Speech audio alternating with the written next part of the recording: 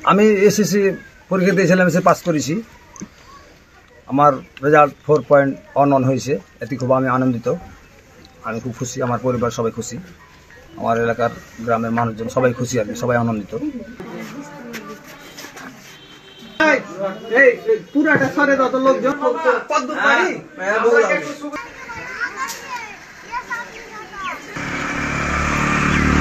শিক্ষার কোনো বয়স নাই। দোলনা থেকে মৃত্যু লাগা পর্যন্তই শিক্ষা অর্জন করা যায়।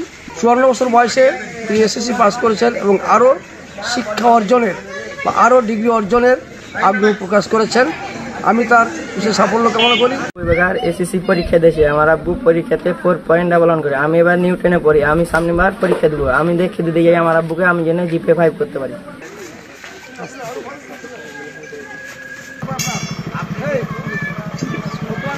শিক্ষার বয়স নাই, যে কোনো সময় লেখাপড়া করার সব সময় সুযোগ আছে, সরকার সুযোগ দিয়ে রেখেছেন।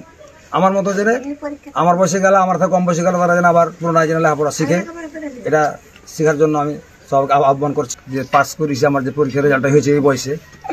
যেন সরকার আমার দিকে দেখে আর যেন কোনো কাজে আমাকে একটু লাগাই সুযোগ সুবিধা থাকলে।